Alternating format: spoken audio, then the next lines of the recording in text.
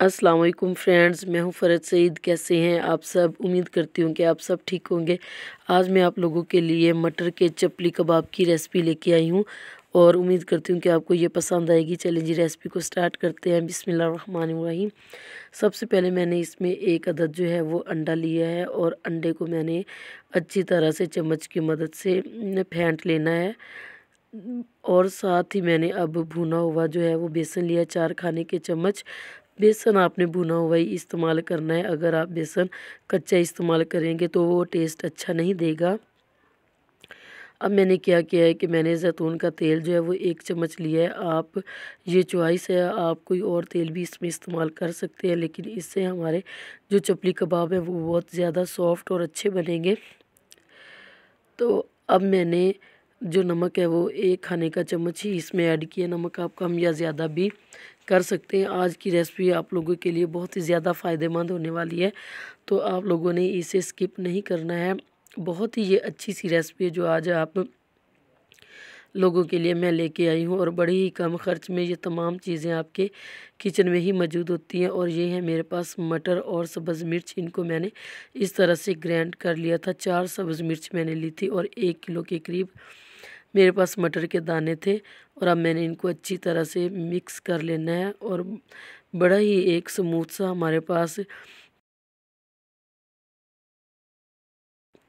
बड़ी एक ज़बरदस्त आप देख सकते हैं कि तकरीबन 10 से 15 मिनट में हमारे ये चपली कबाब जो है वो बन के तैयार हो जाएँगे। अब मैंने हाथों पे हल्का सा जो है वो ऑयल लगा लिया था और अपने फिंगर और हथेली की मदद से एक अच्छी सी शेप में हमने इसको लेके आना है। शेप आप कोई भी अपनी मर्ज़ी से इनकी रख सकते लेकिन मुझे ये पसंद थी तो मैंने इस वजह से इनकी शेप को ऐसे ही रखा।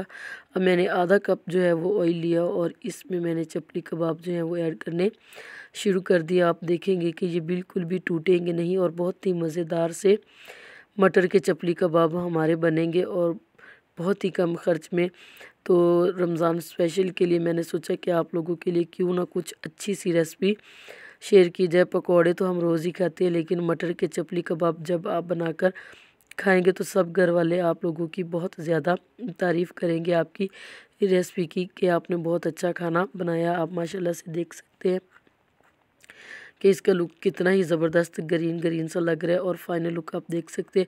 इसके लिए जनाब एक सब्सक्राइब तो बनता है कि आप लोग मेरे चैनल को लाजमी सब्सक्राइब कर दें और मेरे चैनल को आप लोग सब्सक्राइब करने के साथ साथ लाइक भी किया करें और एक प्यारा सा कमेंट भी दिया करें और इसके साथ साथ मेरी वीडियो को शेयर किया करें अपनी फैमिली में, अपने फ्रेंड्स में और मुझे अपने कमेंट में बताया करें कि आप लोगों को मेरे, ये जो मैंने मटर के चपली कबाब की रेसिपी आपसे शेयर की है वो आपको कैसी लगी है? उम्मीद करती हूँ कि आप लोगों को मेरी ये वीडियो पहले तम, की जो तमाम वीडियो मैंने बनाई है, बहुत ज़्यादा आपको पसंद आएगी। दुआओं में मुझे आप याद रखिएगा और मैं इस तरह से आपके लिए बहुत ही ज़्यादा अच्छी अच्छी जो वीडियोज़ है वो लेकर आती रहूँगी। आज मेरी कुछ तबीयत ख़राब थी लेकिन फिर भी सोचा कि आप लोगों के साथ जो है वो अपनी अच्छी सी रेसिपी ये शेयर की जाए। दुआ करें कि मैं जल्द से जल्द ठीक हो जाऊँ और इन मैं आप लोगों के लिए इसी तरह से अच्छी से अच्छी रेसिपीज़ जो है वो लेकर आती रहूँगी।